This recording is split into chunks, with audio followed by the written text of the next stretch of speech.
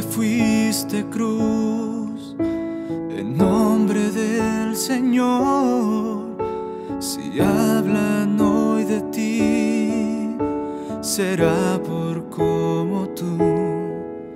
Cada carta que leí nos acerca un poco a Dios, a la esencia del amor, dedicados al Señor.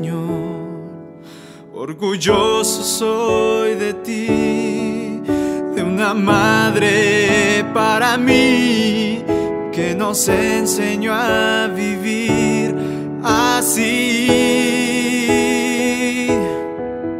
Mi confianza puesta en ti.